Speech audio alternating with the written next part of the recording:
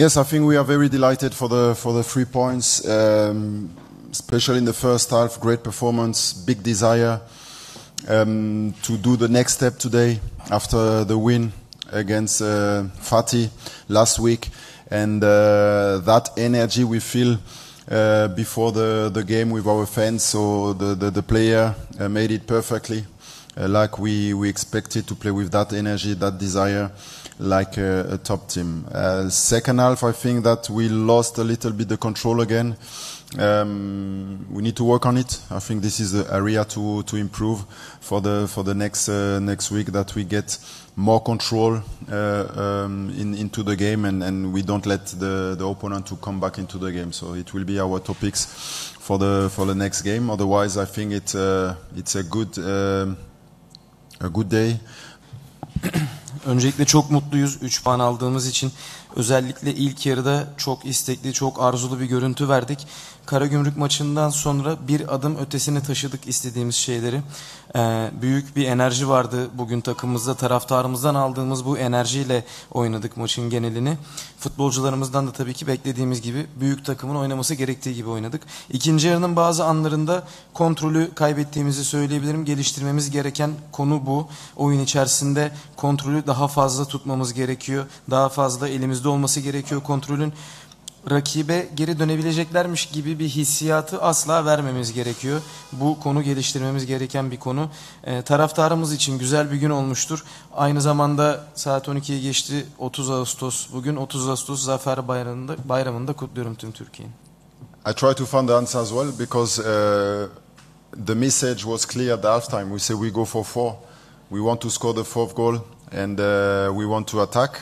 But uh, it was the same situation as last week. Yeah? We make we start to make mistake in the build-up, unnecessary mistake.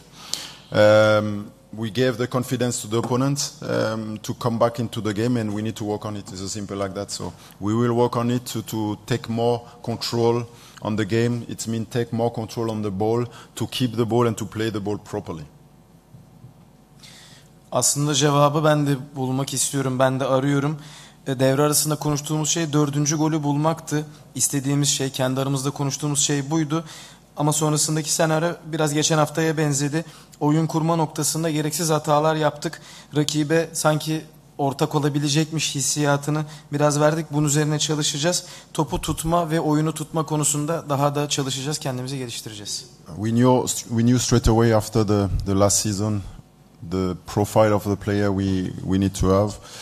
Um, for sure, because I work in England, so the connection with the, the, the English mark um, was more, more accessible and easy for me. And to, to speak with the with the player because they knew me, and to convince him to, to come here. And after that, uh, Jeun and the president made a, a great job to, to, to finish the, the deal because it's the, the most important thing to finish the, the deal. İlk soruya soruyla başlayayım. Bu durum geçen sezondan beri aslında planlıydı. İstediğimiz, yaratmak istediğimiz profil tam da buydu. Ben de İngiltere'de çalıştım. Dediğiniz gibi orayla daha sıcak temasım var. Oralarda en azından ulaşabileceğim ve ulaşabileceğimiz profil daha fazla. Beni tanıyan oyuncularla hep temas ettik ve transfer ettik. Bu durum bizim ikna kabiliyetimizi daha da kolaylaştırdı. İkna edebilitemizi daha da kolaylaştırdı. Bir konuyu da atlamamak lazım. Başkanımız ve Ceyhun Bey de harika işler çıkardılar. Bu transferleri bitirme noktasında bize çok yardımcı oldular. Harika işler çıkardılar. Ee, diğer konuya gelirsek ben 29 yıldır futbolun içerisindeyim. İşlerin nasıl yürüdüğünü de bilirim. Ee, konuşulanlara, e, konuşulan konulara kulak tıkıyorum. Ee, benim işim başarılı olmak, benim görevim başarılı olmak. Başarı olmadığı anda ben eve dönerim. Şu an iyi gidiyoruz. Gelecek maça kadar da aynı odağı, aynı yapıyı korumamız gerekiyor. Eleştiriler tabii ki olacak. Bu işin parçası. Eleştirileri kabul edemiyorsanız zaten bu işi de yapamazsınız. You see, we play well at the minute, but when you think we play with that Rashid, with that uh, Joseph, uh, two key players for for us. It, it showed that at some area we have the, the quality, and uh, for sure in in the back line um, we have other players that are ready with uh, Weli, uh, Ravi, uh, Emre Can. But as you say, it's the rules, and you have to uh, to deal with the with the rules. At some point, maybe when everyone comes back, you need to find the right combination with the to deal with the with the rule. I think it's it's all about to improve the player, and when the player improve, when the player put the performance, he improve the team performance, and I think this is what we are what we are seeking. İlk soruyla başlayalım. Kadro derinliği her zaman lazım. Hep ihtiyacımız olan şey. Şu anda iyiyiz açıkçası. Raşit ve Josef gibi iki kilit oyuncumuzdan mahrumuz aynı zamanda. Ee, bu noktalarda tabii ki biraz kaliteye ihtiyacınız var genel itibariyle. Savunmada da ayrıca oyuncularımız me- mevcut. Wellington, Montero, Emrecan gibi oyuncularımız var. Ama kurallar da var az önce konuştuğumuz konu. Bu kurallar dahilinde doğru kombinasyonları her zaman yapmayı hedefliyoruz, yapmaya çalışıyoruz. Futbolcularımızı geliştirmeye çalışıyoruz. Futbolcularımızı geliştirdikçe takımımızı da tabii ki olumlu yönde geliştireceğiz. Şu an aslında bu konu çok önemli değil. Maçın genelinde rakipten bir fazla gol attığınız anda e, galibiyete, yete- galibiyete yeterli oluyor. Tabii ki yememeyi isteriz. Gol yemeyebiliyorsak yemeyelim. Bu konuda asla bir sorun yok. Ama bu konu e, fark yaratacaksa bir noktada fark yaratacaktır. E, şu an doğru bir yoldayız, iyi bir yoldayız. Genel olarak oyunun genelini daha da geliştirme hedefindeyiz. Arthur as a player is very comfortable with the ball. He's very calm. He has the composure. Um, it was a reason why we, we took him as well because we knew we will have a lot of possession this uh, this season and in all unit you need to have players who are able to Arthur topla ilişkileri çok iyi bir oyuncu. Aslında bu yüzden de kendisini aldık ve oynatıyoruz. Her alanda topla becerileri ve sakinliği bizim için çok faydalı, çok pozitif bir durum. Bazı anlarda top kayıpları yaptı, oldu ama kalitesinden bir şüphemiz yok.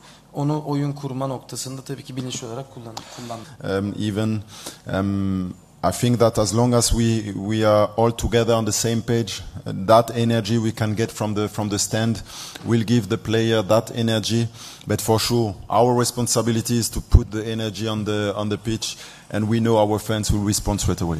Ben taraftarımızı her zaman söylüyorum uzak ara en iyi taraftar olarak görüyorum ki geldiğimizden beri göreve geldiğimizden beri gördüğümüz tutku, aşk, bu sevgi bunun da tam karşılığı gerçekten bunun bir sonu sınırı yok diye düşünüyorum ben. Birlikte taraftarımızla birlikte aynı şeyleri isteyip aynı şeyleri düşündüğümüz zaman ortaya çıkan enerji bizim için çok faydalı olacak. Tabii ki bizim görevimiz sahaya bu enerjiyi doğru şekilde yansıtmak. Taraftarımızla beraber o enerjiden de iyi bir şekilde çıkmayı her zaman hedefliyoruz. Basın toplantımız sona ermiştir. Tekrar 30 Ağustos Zafer Bayramımız kutlu olsun. Çok formda bir takımla oynadık. Beşiktaş'ta yani bundan önceki maçlarında da gayet e, güzel oynayıp net skorlar almışlardı. Bugün bizim yaptığımız en büyük hata maçın ilk yarısındaki defansif açıdan yaptığımız hataydı. Ben öyle bir defans, öyle bir e, geriye de bekleme gibi bir şey mü- mümkün değil yapmam. Yapmadım da bugüne kadar. Ama ben anlamadım bütün oyuncularımın gelip defansımızın önünde durması, durmalarına rağmen gol yemeleri.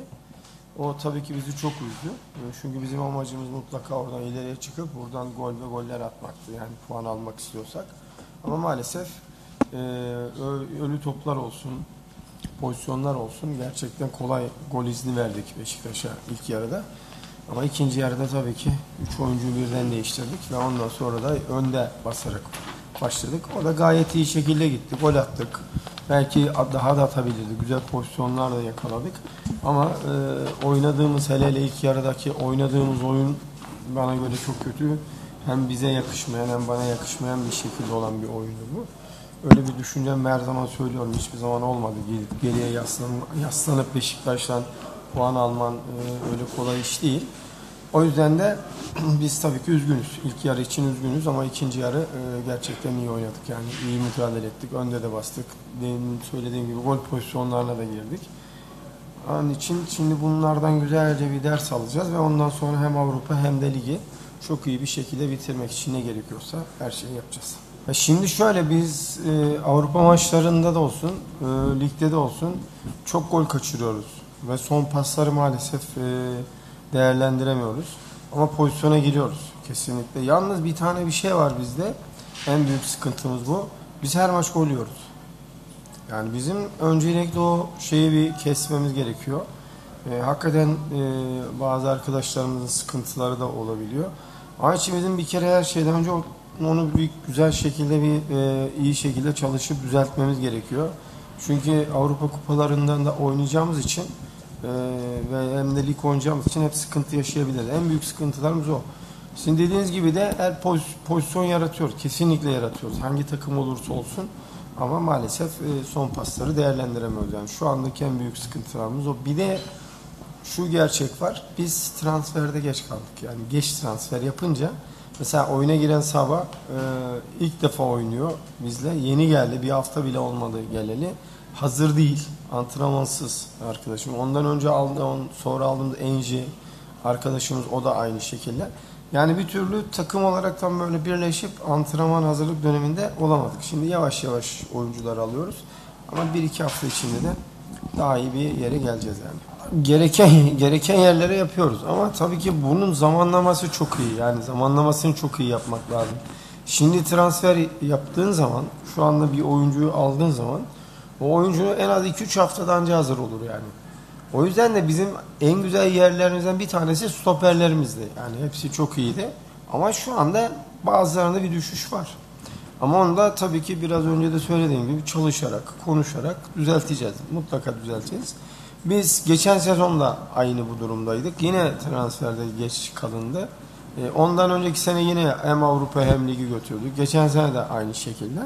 Ya biz başarılı bir takımız yani Anadolu takımı olarak başarılı bir takımız ama biz böyle istediğimiz oyuncuları alamayız. Yani takı kulübün bütçesinin yettiği oyuncuları alabiliyorsunuz. O anda da istediğini alamadığın için de mecburen bazı şeyleri beklemek zorunda kalıyorsunuz.